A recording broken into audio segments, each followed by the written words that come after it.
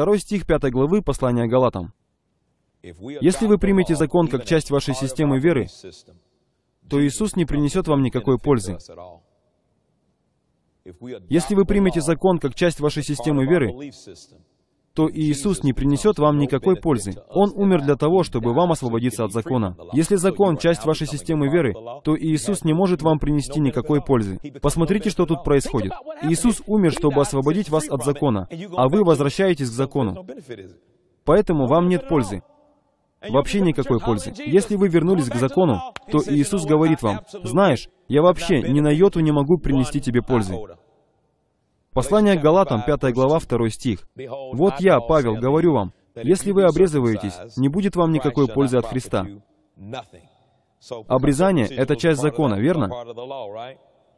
Мне нравится это место в расширенном переводе. Вот я, Павел, говорю вам, если вы обрезываетесь, не будет вам никакой пользы, выгоды приобретения, ибо если вы не доверяете Христу, то ничего и не получите от Него. Да, тут имеет место недоверие. Я не доверяю Христу достаточно для того, чтобы Он руководил мною. В водительстве я больше доверяю закону, который осуждает меня, чем Христу. Еще свидетельствую всякому человеку, обрезывающемуся, что он должен исполнить весь закон. То есть, если вы приняли обрезание, теперь обязаны исполнить весь закон. Вы что, думаете, что обрезания достаточно, если вы не исполняете все остальное? Вы приняли обрезание, но работаете в пятницу и в субботу. Вы, оправдывающие, объявляющие себя праведными, себя законом, остались без Христа. Послушайте это. Отпали от благодати.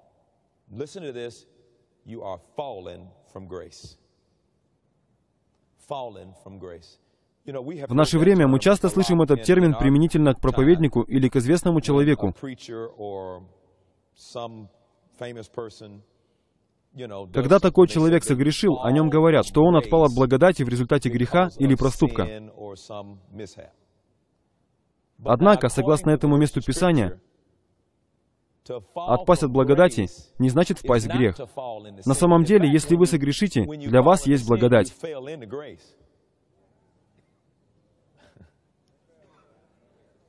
Ваше традиционное мышление никак не может этого понять. Когда вы впадаете в грех, благодать подхватывает вас и дает вам знать, что вы не отпали от благодати, не вышли из нее. Вы пребываете в ней. А что значит отпасть от благодати? Вернуться к закону. Пытаться исполнить закон, ради освобождения от которого Иисус умер. Вот это и есть отпадение от благодати. Отпасть от благодати значит вернуться к закону и пытаться исполнить его после того, что Иисус сделал для вас. Аминь. Мы говорили о служении смертоносным буквам. Второе послание к Коринфянам, 3 глава, 7 стих. Мы говорили о служении осуждения.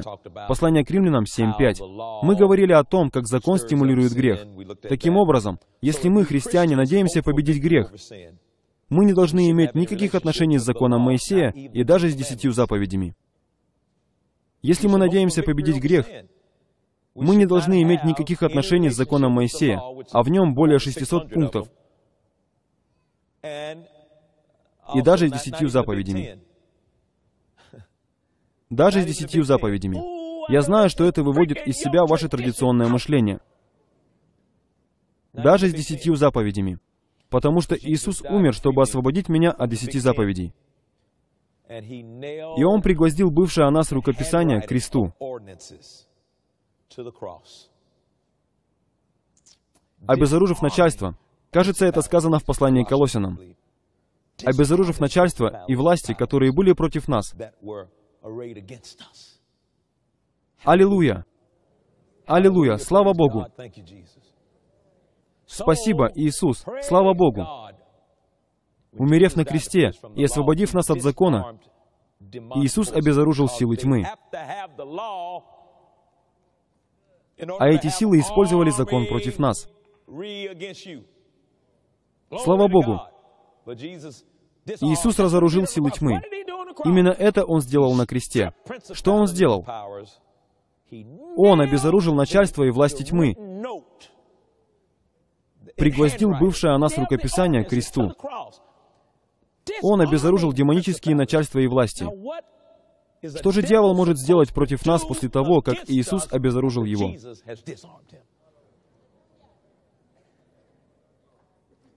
Единственный способ дать дьяволу возможность действовать — снова вернуться к закону.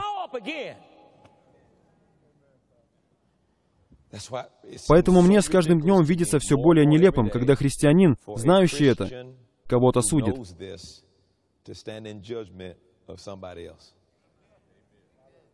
Это просто нелепо. Вы знаете, как получили избавление, как получили свободу, а теперь пытаетесь судить кого-то, кто был или находится в положении, в котором были или, может быть, до сих пор находитесь вы. Как вы можете так делать?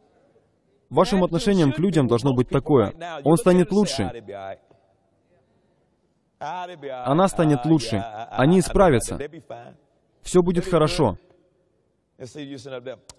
Вместо того, чтобы говорить, а еще называются христианами. Это неправильное отношение. Она же христианка, и вот что делает. Вот поэтому мы едва видим милость среди нас. Милость Божья обновляется каждый день, а у нас ее не бывает и раз в месяц. И знаете, что произойдет? Если вы не являете милость, то и сами не... Но даже это не так. Вы не являетесь основой завета, помните? Даже если вы не явили милости кому-то, Бог обещал и поклялся самому себе, что ваша неверность не остановит его от того, чтобы быть верным тому, что Он обещал вам.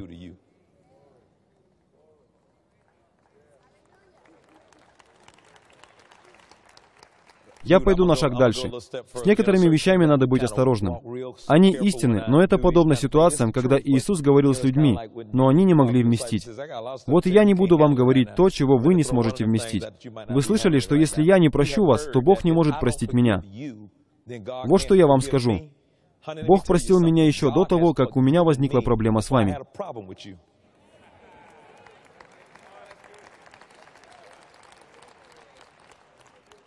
Это звучит ошеломляюще, не так ли? Подождите, подождите. Так что, значит, я могу... Нет, нет, вы поймите, если вы примете решение жить в грехе, то получите последствия своего решения. У вас будет горечь. Библия говорит об этом. Библия говорит, что будет, если вы будете удерживать непрощение против людей. Библия говорит о том, что случится, если вы будете осуждать других людей. Обо всем этом мы говорили. И я это говорил, но некоторые люди не поняли этого. Услышав, они сказали, «Вы поосторожнее с этим. Это вам надо быть внимательными в слушании». Евангелие от Матфея, от Марка, от Луки, от Иоанна. Это чудесные поучительные повествования, и я могу учиться из них. И главное в Евангелиях то, что я могу созерцать Иисуса. Главное в Евангелиях то, что когда я созерцаю Иисуса, Дух Святой может преображать меня в Него. И я могу видеть, как Он делает то, что Он делает, как Он ведет себя. Но читая Евангелие, я должен знать, с какой аудиторией разговаривает Иисус. Мне необходимо знать, с кем он говорит, где говорит и в какой он говорит диспенсации. Иисус был рожден как пророк в Ветхом Завете. И он обращался ко многим людям. Послушайте, Новый Завет не начался с Евангелия от Матфея, сразу же после книги Малахии. Нет, он не начался после книги Малахии с Евангелия от Матфея. Христианство и диспенсация благодати начались тогда, когда Иисус умер. Мы не изменились, когда Иисус родился. Мы изменились, когда Он умер.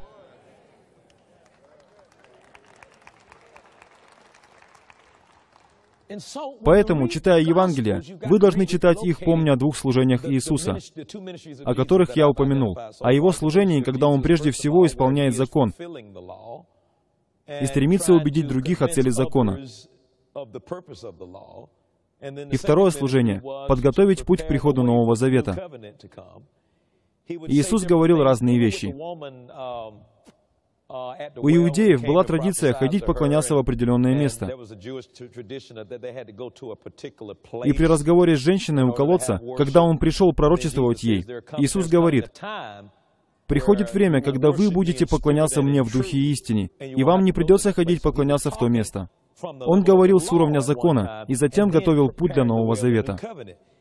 Если вы будете читать Евангелие в таком свете, вы увидите, как Иисус разбирается с законом. Отсеки руку, если она соблазняет тебя.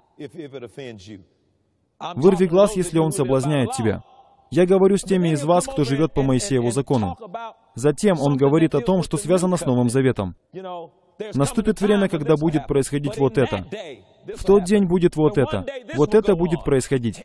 Если вы будете читать Евангелие, не помня об этом, вы возьмете то, что сказал Иисус, обращаясь к людям под законом, обращаясь к тем, кто жил по закону Моисееву, и попытаетесь сделать это принципом жизни под диспенсацией благодати. Вы не увидите разницы, а делая это, попадете в самые разные проблемы.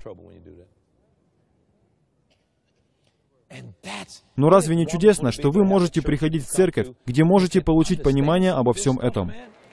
Вам понятно, о чем я говорю? Послушайте, послушайте. Я говорю вот о чем. Кто захочет прожить всю жизнь, так и не познав Библию? И вот вы умираете, предстаете пред Богом, и не дай Бог вам быть надменным. Уж я-то знаю. Не дай Бог вам быть как богатый правитель. Я все исполнил.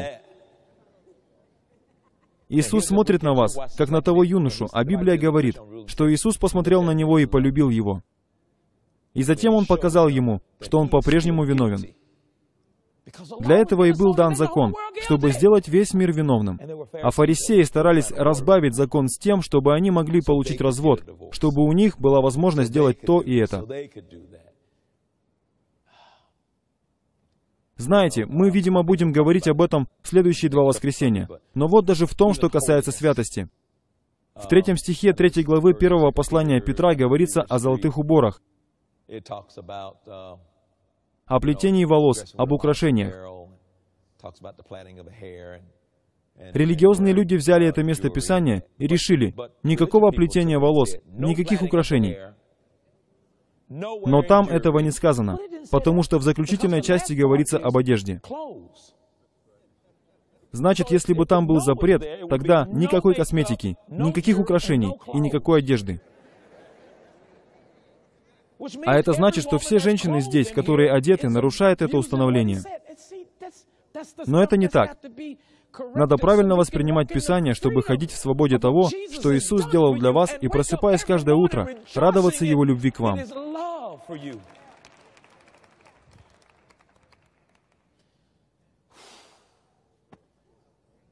Я сказал это эмоционально, и сделал это так для того, чтобы вы могли увидеть истину. Удивительные вещи. Если мы будем придерживаться закона Моисеева как нашего руководства, то нам следует ожидать грех, ожидать вину. И знаете что? Нам следует ожидать замешательства. Грех, вина и много замешательства. Закон не в состоянии нас спасти.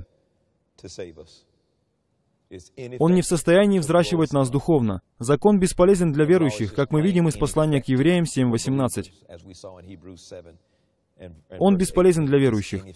Для нас, христиан, закон не может быть путеводителем в каждодневной жизни.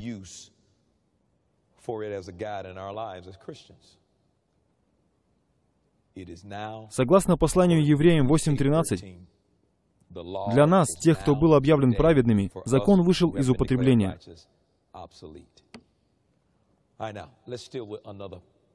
Давайте рассмотрим еще один аспект закона. Хорош ли он для чего-нибудь? Иисус что-то сказал в пятой главе Евангелия от Матфея, и это очень важно вам понять. Хорош ли закон для чего-нибудь?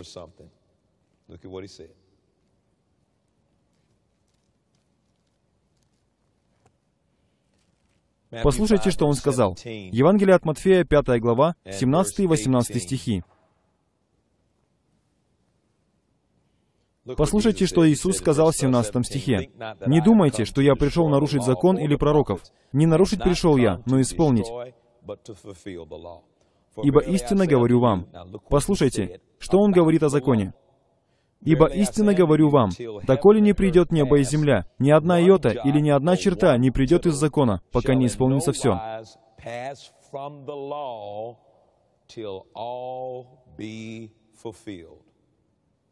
Значит, закон все еще присутствует. Но если закон не помогает нам, христианам, жить праведной жизнью, то какая от него польза? Закон имеет специфическую цель по эту сторону креста, пока он еще здесь. И ни одна черта из него не придет, пока не придут небо и земля. Давайте убедимся в том, что я правильно процитировал 18 стих. «Доколе не придет небо и земля». Небо и земля пришли? Значит, закон все еще имеет свою функцию здесь, по эту сторону креста. Не для нас, христиан, но все же он имеет свою функцию. И откройте вот это местописание. Первое послание Тимофею, первая глава.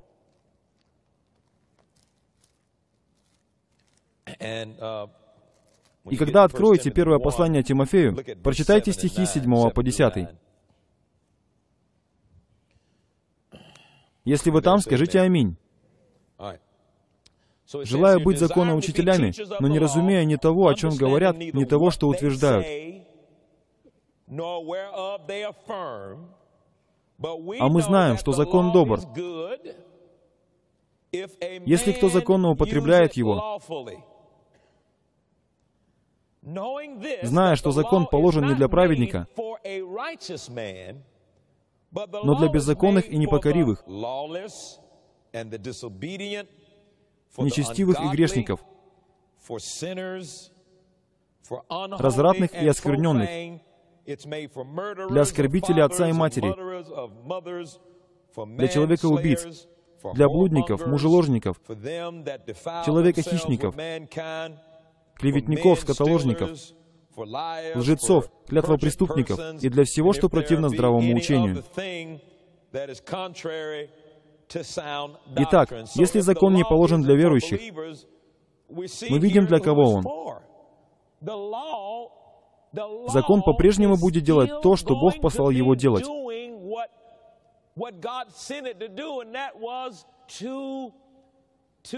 То есть, как сказано в послании Галатам, он будет где-то водителем. Он будет показывать вам, что вы виновны и нуждаетесь в Иисусе. Слава Богу за наше тюремное служение. Да, хорошее время послужить людям. Если вы бываете там, это хорошее время служения людям, потому что там людям приходится исследовать свою жизнь. И послушайте вот что. Послание к Галатам, 3 глава. Перелесните, я покажу вам. Закон по-прежнему попытается учить вас и привлекать ваше внимание. Лучше я прочту стихи с 23 по 25. Послание к Галатам, 3 глава, стихи с 23 по 25. «А до пришествия веры мы заключены». Вот это слово я искал. «Были по стражу закона до того времени, как надлежало открыться вере». Итак, закон был для нас где-то водителем ко Христу, дабы нам оправдаться верою. По пришествии же веры мы уже не под руководством где-то водителя. Я искал слово «руководство». Именно это и делает закон. Он руководит той категорией людей, о которой мы только что прошли. Он руководит неверующими, наставляет их, показывая их грехи. Закон наставляет неверующих, показывая им их грехи. Христиане же не под законом и не должны после спасения находиться под его руководством. Вы это ясно видите в послании к Галатам 3.25. По пришествии же веры мы уже не под руководством детоводителя. Говоря о детоводителе, он имеет в виду что? Закон. Мы уже не под руководством закона. Послание Галатам, 5 глава, 18 стих. Перелесните туда. Послание Галатам, 5.18. Под диспенсацией благодати мы под водительством закона или духа? Мы под водительством Духа, верно? 18 стих. «Если же вы Духом водитесь, то вы не под законом. Можете ли вы быть под водительством Духа, если пытаетесь жить по закону Моисея? Нет. Нет. В послании к римлянам 6.14 говорится, «Грех не должен над вами господствовать, ибо вы не под законом, но под благодатью». Итак, десять заповедей и другие законы морали, в том числе понимаемые интуитивно нашей совестью, они, по сути, для неверующих.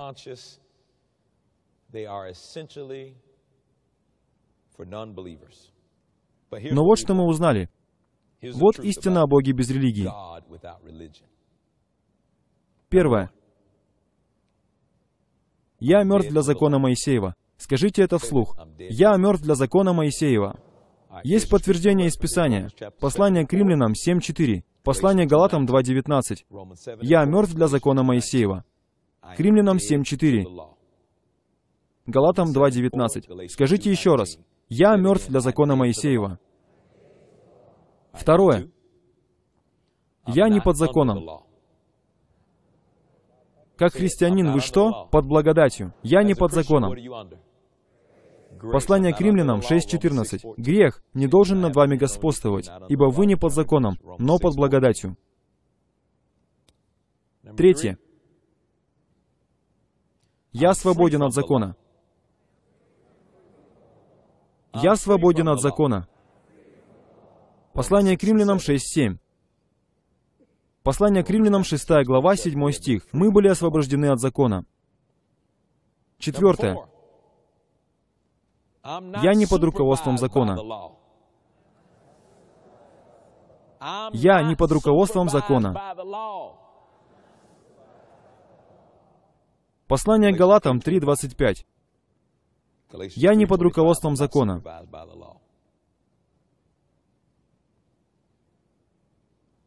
Пятое. Я не служу согласно ветхому пути закона. Я не служу согласно ветхому пути закона. Послание к римлянам 7.6. Послание к римлянам 7 глава 6 стих.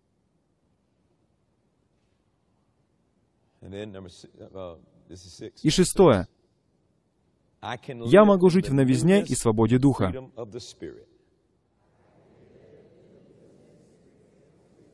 Я могу жить в новизне и свободе духа. Послание Галатам 5.13. И также послание к римлянам, 7 глава, 6 стих. Итак,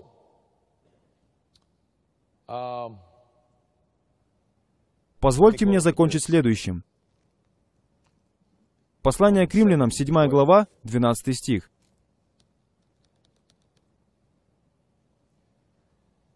К римлянам 7.12. «Посему закон свят, и заповедь свята, и праведна, и добра».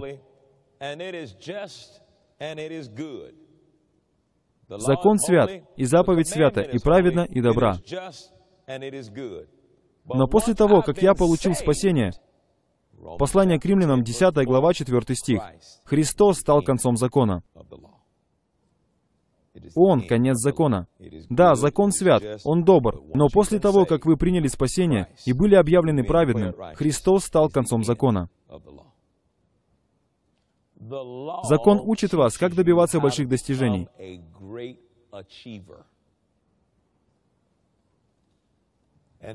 Под законом все, что вы видите, это то, что люди пытаются собственными усилиями достичь исполнения требований закона satisfy the requirements of the law.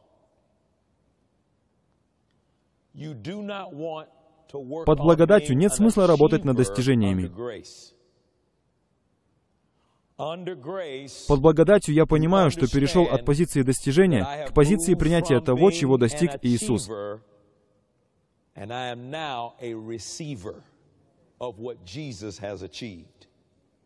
В этом все и дело.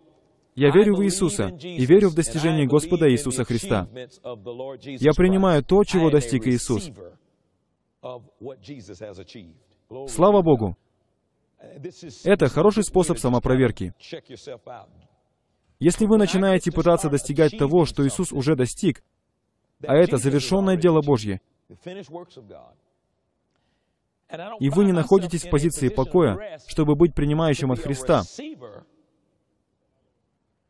вот тут вам и надо быть осторожным, чтобы не отпасть от благодати и не впасть в закон. Все уже сделано. Сделано. Я принимаю сделанное Иисусом. Я принимаю от Тебя, Боже, и готов быть водимым Духом Твоим в том, что мне делать. Вот такой жизнью мы должны жить. Я принимаю от Бога. И я открыт для водительства Духом Святым. Боже, я открыт для того, чтобы слышать от Тебя. Я открыт для того, чтобы быть водимым Тобой. А те, кто водим Духом Божьим, они кто? Сыны Божьи. Запомните мои слова. Если вы вернетесь к тому, чтобы быть тем, кто достигает, вы подумайте, как вы достигнете праведности? Единственный путь — обратиться к закону. И что тогда? Праведность от закона. Так что каждый раз, когда вы пытаетесь достичь того, чего Иисус уже достиг, вы оказываетесь в законе. Я принимаю от Тебя, Господь. Мы принимаем жизнь с избытком. Мы принимаем ее, Господь, и мы открыты к тому, чтобы Дух Святой говорил нам, что делать. Вот и все. Не так что, брат доллар, мы принимаем от Бога, а что дальше делать? Вы должны быть всегда открыты к тому, что Дух Святой говорит вам делать. Проблема в том, что у стремящихся к достижениям собственный план. А принимающие от Бога признают, что Иисус уже достиг всего. Его план удался, и мы принимаем от Него. И знаете что? Мы ожидаем, что Дух Святой будет вести нас в то время, как мы находимся в состоянии покоя. И мы принимаем сделанное Иисусом.